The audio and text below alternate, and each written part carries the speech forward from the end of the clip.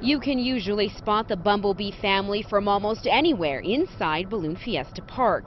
If you don't, just listen for the crowd. We take off and the roar of the crowd that we get from the people here in Albuquerque is some of the amazing. Michael Glenn pilots the smallest bee, and he tells us the yellow and black striped trio isn't the only family out on the field. My brother's actually flying one of the, the big bees. He's flying Joey. Michael's dad has been flying balloons for more than 40 years, and Michael always knew he wanted to follow in his father's footsteps. It turns us all into that kid when we see these big, beautiful, colorful things in the sky. And then something tragic happened. I was in a, involved in a single car rollover at 21 years old down in Roswell, New Mexico, uh, 19 years ago that left me paralyzed from the waist down.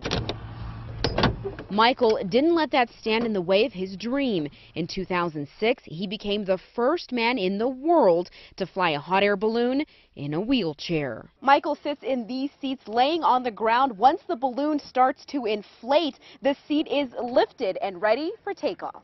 Michael says the FAA initially denied his application, but he fought it and won. Now he hopes his story inspires others. That's the biggest story I try to say is you can achieve anything you want. Whether they have a disability or not. Sandra Ramirez, KOAT, Action 7 News.